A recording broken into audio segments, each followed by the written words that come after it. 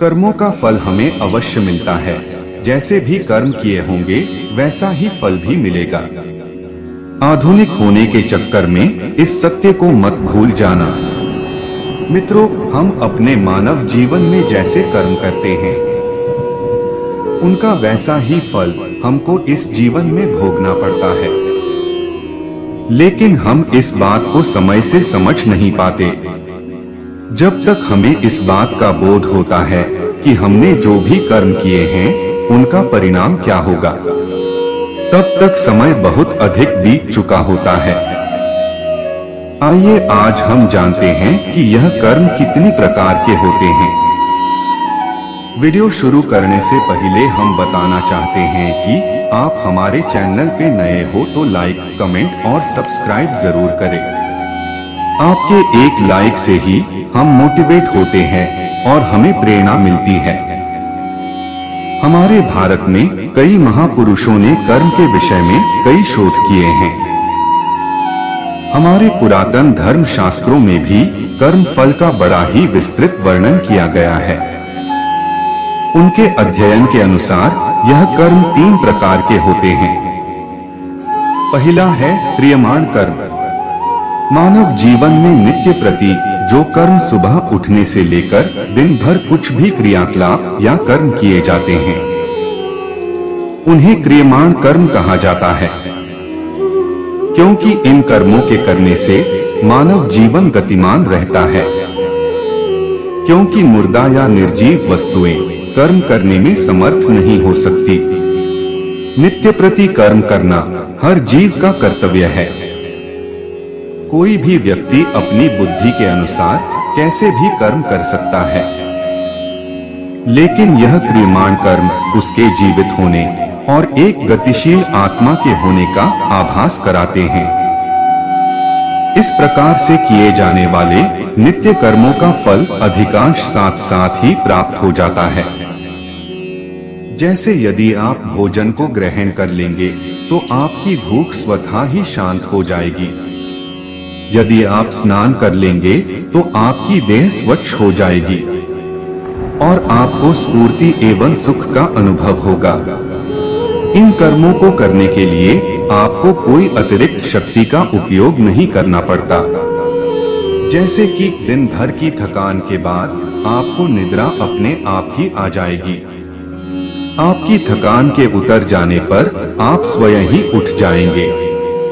किंतु यदि आप आलस्य को धारण कर लेंगे तो आपका यह कर्म आपको जीवन की गति से दूर ले जाएगा। आपको इसके दुष्परिणाम भी भुगतने पड़ेंगे। इस प्रकार से किए जाने वाले कर्म क्रियमाण कर्म कहलाते हैं। दूसरा कर्म है संचित कर्म। यह बात तो निश्चित हो चुकी है कि आपको कर्म तो करने ही पड़ेंगे। कुछ ऐसे कर्म भी होते हैं जो कि हम करते तो हैं। लेकिन हमें उस समय यह ज्ञात नहीं हो पाता कि इन कर्मों का परिणाम क्या होगा। इस प्रकार से हम कुछ ऐसे कर्म भी करते हैं, जो हमारी दृष्टि से बिल्कुल सही एवं सटीक होते हैं। किंतु प्रकृति, समाज एवं अन्य प्राणियों के दृष्टिकोण से उचित नहीं होते। हम यह अक्सर यह सोचते रहते हैं कि हमने जो भी किया उसका हमें अच्छा ही परिणाम मिलेगा। लेकिन कई बार ऐसा नहीं होता और हमें अपनी कर्म करने की सोच में परिवर्तन लाना ही पड़ता है। इस प्रकार से कर्म करते हुए कुछ ऐसे कर्म भी होते हैं जो कि हमारे चित्त की अंतर्दशा में जाकर एकत्र हो जाते हैं। साथ ही उन कर्मों का फल भी चित्त में ही विद्यमान हो जाता है। जब तक हमें अपने इन कर्मों का फल प्राप्त नहीं हो जाता, तब तक वह कर्म हमारे चित्त में भी समाहित रहते हैं। इस प्रकार के कर्मों को संचित कर्म, अर्थात संचय कर रखे गए कर्म कहा जाता है। तीसरा कर्म है प्रारब्ध कर्म। जब हमारे कर्म हमें उस दिशा की ओर ले जाते हैं, जहाँ हमारे कर्म हमें पूर्ण रूप से फल देने को परिपक्व हो चुके होते हैं। तब ही इन कर्मों का फल हमें मिलता है। इस प्रकार के कर्मों को प्रारब्ध कर्म कहा जाता है। इस प्रकार के कर्म हमारे अंतर्मन में लंबे अंतराल के लिए एकत्र रहते हैं।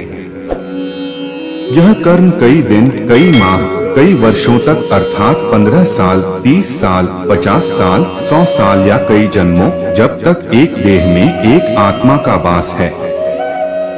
तब तक भी हमारे भीतर ही विद्यमान रह सकते हैं। इन कर्मों में अच्छे एवं बुरे दोनों ही प्रकार के कर्मों का समूह होता है। जिस प्रकार से हम अपने दैनिक जीवन में एक ही दिन में कई प्रकार के कर्म कर लेते हैं, जिनमें से कुछ कर्म हमारे संचित कर्मों में समाहित होकर अनंत काल के लिए विलीन हो जाते हैं। इस प्रकार से किए गए कर्मों का एक बड़ा भाग लाखों की संख्या में संचित कर्मों के एक विशाल समूह का रूप धारण कर लेता है। इस तरह से यदि हम विचार करें तो पाएँगे कि हम अपने एक मानव जीवन में लाखों संचित कर्मों को एकत्रित कर लेते हैं। यदि हम अपने पूर्व जन्म के कर्मों को भी इनमें सम्मिलित कर लें तो हमें ज्ञात होगा कि ऐसे बहुत सारे अनगिनत कर्म अभी बाकी हैं। जिनको भोगना अभी शेष है, ताकि उनका कर्म फल हमें प्राप्त हो सके।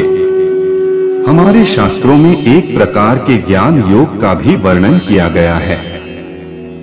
जैसे ही मनुष्य साधना शैली के द्वारा इस ज्ञान योग को सिद्ध कर लेता है, उसी समय उसके जीवन में से प्रारब्ध कर्म समाप्त हो जाते हैं। और ऐसा आभास होता है कि वर्षों तक अंधकार में कैद रहने के बाद एक प्रकाश में दीपक की रोशनी से जीवन जगमग सा हो उठा है। ऐसे कर्मों को आध्यात्मिक व्याकरण भाषा में प्रारब्ध कर्म कहा जाता है। मित्रों, अपने इस वीडियो के द्वारा हमने आपके सामने कर्मफल के सिद्धांत एवं कर्मों के प्रकार के विषय में कुछ जानकारी प्रस्तुत की है।